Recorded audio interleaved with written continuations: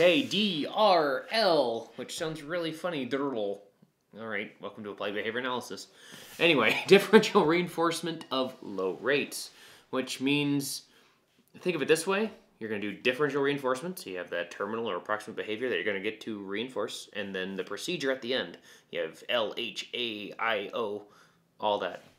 So we're focused on DRL, or L, for those who are watching and dyslexic. Anyway, um, so what we want to do is, for instance, I'm going to give you an example of differential reinforcement of low rates. We're going to try to decrease things. Bob has a great time at parties in his frat house and ends up drinking a keg every Friday. Possibly a little too much alcohol consumption in one evening. A whole keg by yourself. Good luck having a liver. Anyway, the idea being beer is an okay thing. You don't want to get rid of that. You're not going to completely remove responding to a zero rate. So we're going to teach Bob to lower his rate of responding or lower his drinking. See IRT or inter-response time. Another great example um, is done in the classroom. You have all the kids that are like, "Hi, hi, teacher, I have a question. Teacher, I have a question. I have to go to the bathroom. What's the meaning of life? What's all this stuff? What's your philosophy talking about? When did you teach? Did you get married? Were you sick the other night? Way too many bloody questions to the point that class can't continue. DRL.